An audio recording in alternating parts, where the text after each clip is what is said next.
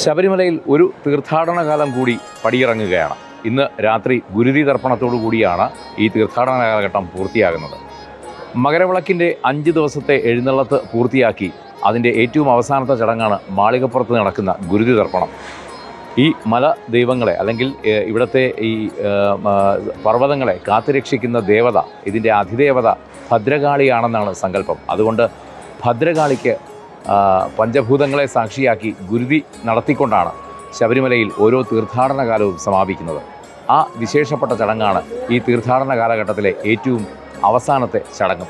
ഇത് കഴിഞ്ഞ് ഭക്തർ മലയിറങ്ങിയാൽ പിന്നെ തിരുവാഭരണങ്ങളും പടിയിറങ്ങും. അതോടെ ഒരു തീർത്ഥാടന കാലത്തിന് സമാപനമാകും.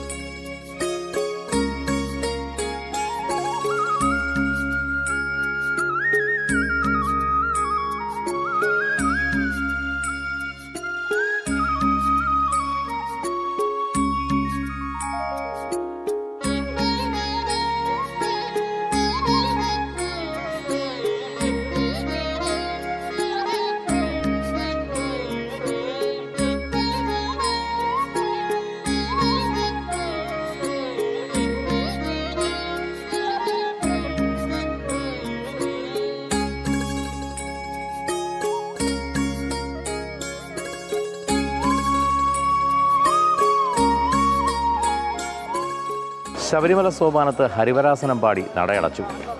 ഗുരുതി തർപ്പണത്തോടെ ഒരു തീർത്ഥാടന കാലം കൂടി പടിയിറങ്ങുകയാണ്.